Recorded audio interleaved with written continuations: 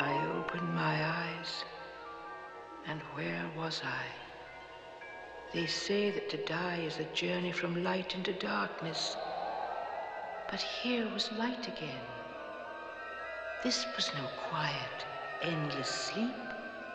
I was flying, flying wildly, without weight or effort, diving, spinning, falling backward and downward into the mists of time, where my ancestors were worshipped in the temples to Bast thousands of years ago.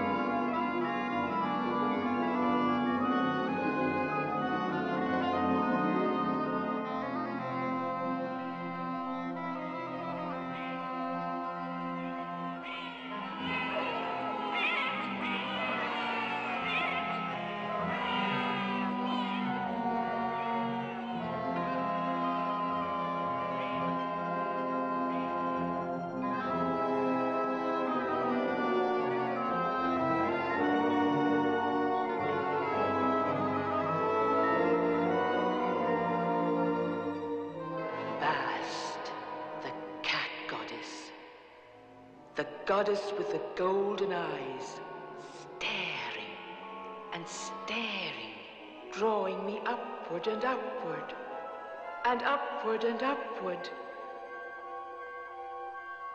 Then there were flowers, flowers everywhere, all around me, touching me and the sound of music.